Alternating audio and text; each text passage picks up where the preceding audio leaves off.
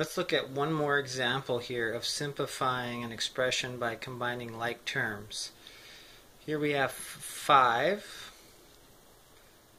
5 times this quantity n minus 2 subtracting 7 times this quantity. The way to proceed or start is to undo these parentheses by performing the operation here which is multiply and then performing the operation here which is a subtraction of 7 multiplied with this.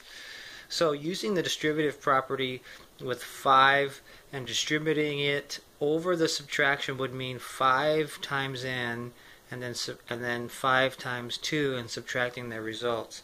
I'm going to draw little arrows indicating what I'm multiplying with. So 5 times n gives me 5n and 5 times 2 gives me a 10 and then I'm going to subtract their results.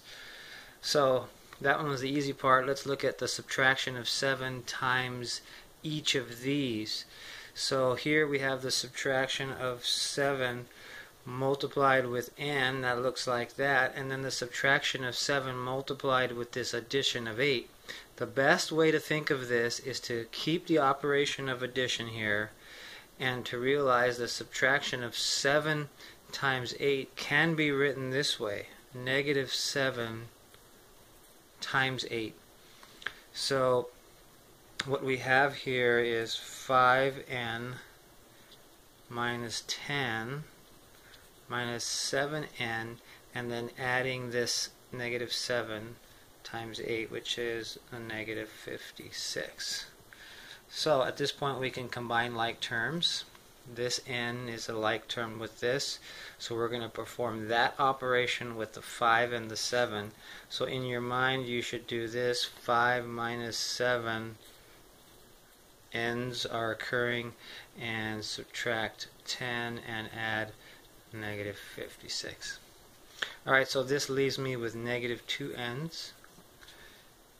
And minus 10 added to negative 56. So you may want to come off to the side and write what is a, a minus 10 or a negative 10 added to a negative 56. Hopefully you agree that's a negative 66.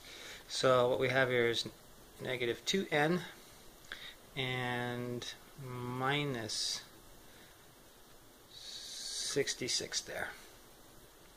So that's a subtraction um, of that 66.